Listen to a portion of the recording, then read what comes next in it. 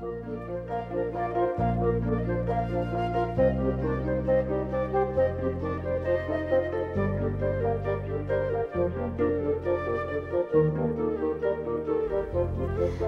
and welcome to Body Balance, the basics.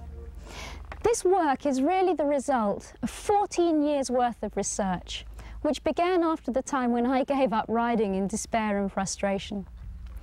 I'd always looked at riders who were much more talented than myself and really envied them and wondered how the heck they were able to ride so beautifully and produce such beautiful results from the horses.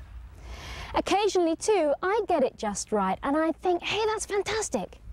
The only problem was I never knew what I'd done and I was never able to go out and do it again. Now this sent me off on a quest to really try and work out how the interaction between the rider and the horse works, how I could learn to do it well, consistently, and how I could teach other people to do the same. This tape is about the fundamental ABCs of riding. Now, like me, I'm sure you're familiar with all those expressions that people say about sit up straight, stretch your leg down, push your heels down, relax, sit deep, use your back, all those kind of things. And I used to assume that if I tried to do those and it didn't work, it was because I was stupid. Now I think it's because those things are really not the fundamental organising principles of riding. If they were, they work for everybody. Think of it this way, if riding was a pie, and the pie was cut into certain pieces, and we looked at the pie crust and we saw the piece that says keep your heels down, the piece that says stretch your leg down, the piece that says relax, and we thought that was what it's about.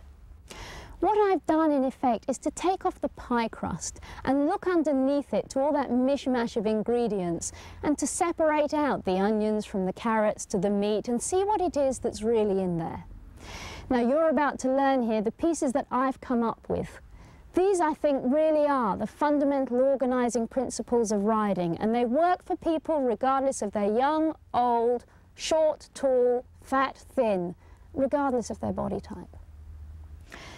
Bear in mind that these tapes were shot in actual riding lessons. Everything you see here was spontaneous. We never worked from a script.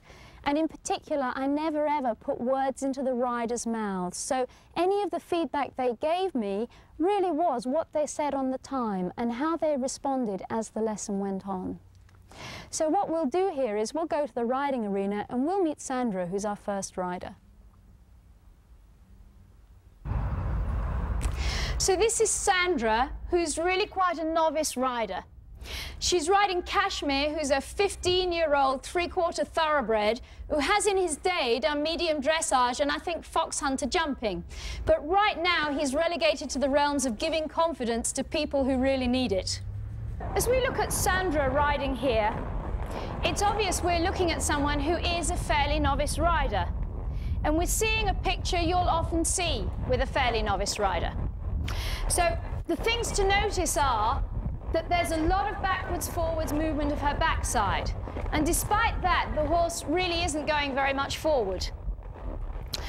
Also, if we look at the basic lineup of her body, we can just check out what's going on by asking ourselves the question, if we took the horse out from underneath her by magic, how would she land on the riding arena?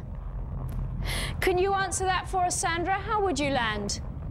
I'm sure I would land on my backside. Yes, that's right. You'd land on your backside. So there's no way there you'd just plop down on your feet. You'd land on your backside. No, on my backside. Sandra, let's have you take trot rising, just going round the edge. Okay. If you panic and freak, I'll come and catch you. What? He'll stop anyway.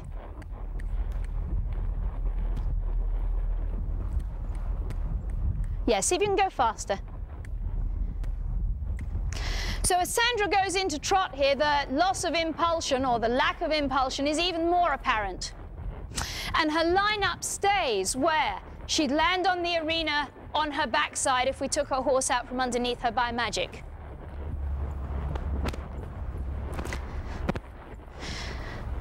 As you see her from the side here, also just notice the shape of her back. Just notice how much backside you see out behind her and how hollow her back really is. Okay, so Sandra, you come on back through to walk. come on up the center line here and let's reorganize things a bit. So Sandra, if you had little extensions on the bottom of your seat bones or little flashlights shining down from your seat bones, what direction would they point in? Would it be straight down to the ground, forward towards his front feet, or back towards his back feet? Back toward his back feet. Okay.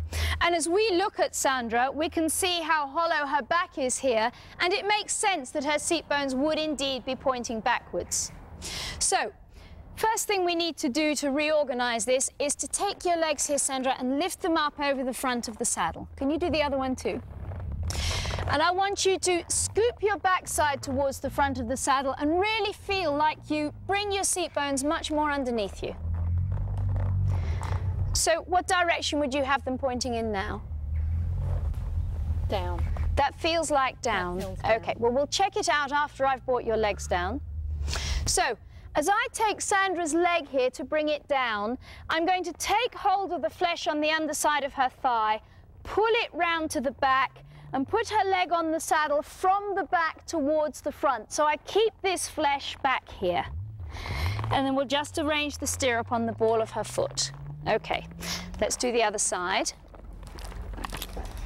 Sandra's just told her here that this shift in her position begins to give her a feeling of strain in the muscles of the lower back here. And I suspect what we're really talking about is a feeling of unfamiliarity. In my experience, hollow-backed riders are the ones who tend to have back pain. And I've had many people come in riding with Sandra's kind of body type, change themselves to align their pelvis more like this, and find that riding no longer hurts. Whenever somebody's back is hollow as well, they almost inevitably bump. And most hollow-backed riders are nervous. Is that true of you? Yes. You, would say that was true. Yes. And in the posture that Sandra's body's been in, it's almost inevitable that she wouldn't feel safe. It isn't a safe posture. So, what we're wanting to do here, Sandra, is to have your seat bones pointing straight down, and it's even a little bit more under you that your pelvis has to come. This change is going to feel colossal to you.